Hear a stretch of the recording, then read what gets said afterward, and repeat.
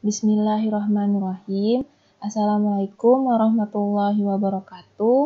Halo teman-teman, uh, pada hari ini kita akan belajar tentang ukuran penyebaran, yaitu variasi dan standar.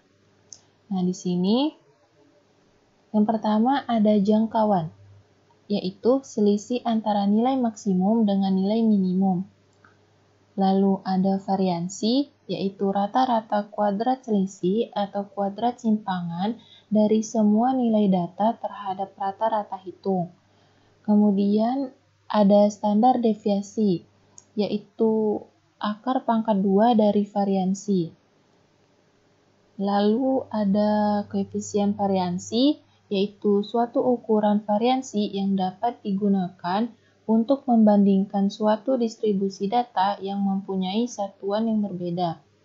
Nah, langsung saja kita implementasikan ke SPSS. Ya, sebelumnya kita gunakan data yang ada pada postes 6, eh postes 6, pada pertemuan 6, postes 1.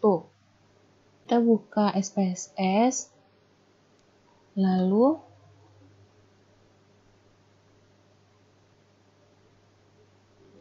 Kita ke variable view. Seperti biasa, kita masukkan nama kolomnya di sini mahasiswa. Lalu ini tetap numerik, yang ini kita ganti jadi 0. Lalu kita ke data view. Nah, di sini kita inputkan datanya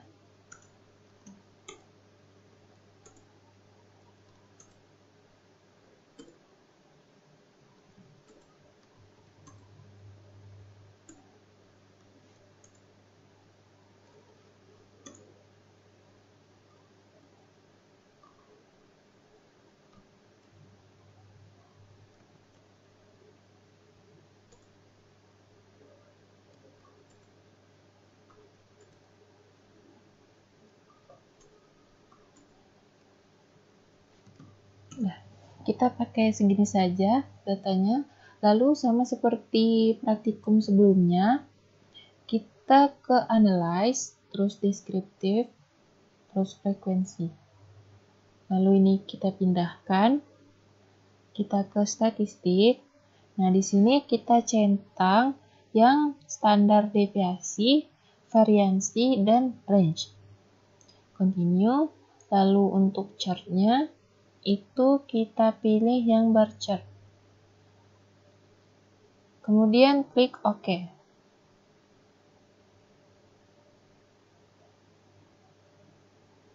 Nah, jika sudah, di sini akan tampil uh, tabel yang berisi nilai standar deviasinya yaitu 14,389.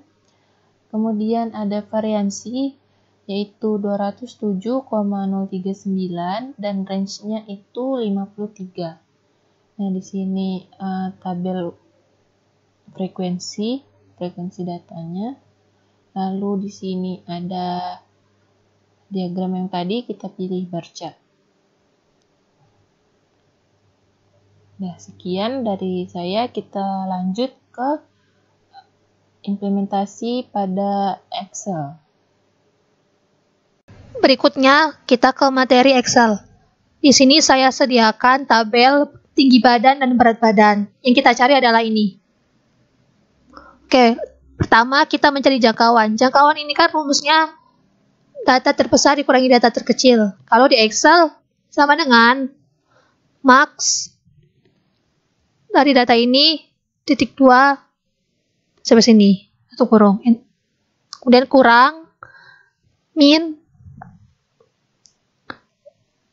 pilih ini. Dari data ini, titik 2 sampai sini. Tutup kurung. Enter. Nah, dapat jangkauannya 24. Kemudian rata-rata berarti sama dengan average. Dari data ini, titik 2 sampai sini. Tutup kurung. Standar deviasi sama dengan STDEV. Pilih yang ini. Dari data ini, titik 2 Sampai sini.